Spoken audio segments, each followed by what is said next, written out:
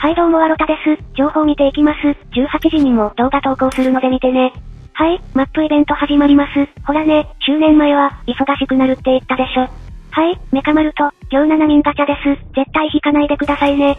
一個お姉さんに文句いいですか？情報15時に来るなら遅れないでほしい。今日15時に確認した時に何もなくて、あー来ないんだなって思ってたら、5分遅れてきました。はい、そんなことは置いといて、マップイベント開催です。期間は20日までなので、21日から周年イベントですね。これ、予想します。14日に、周年キャライラスト公開です。はい、20日からのイベントがないので、ハフバみたいな、メモリークエストはなさそうですね。周年イベントなのか、普通のストーリーイベントなのか、正直わかりませんね。はい、イベント限定残死です。個人的には、ストーリーイベントを開催して、メインストーリーと、絡めてきそうな気がしますね。前回のストーリーイベントが、そんな感じだったので、はい、スコアアタックも来ます。これは木曜日ですね。2000万投稿します。無料10連も来ます。スコアタは強属性なので、青5上で余裕ですね。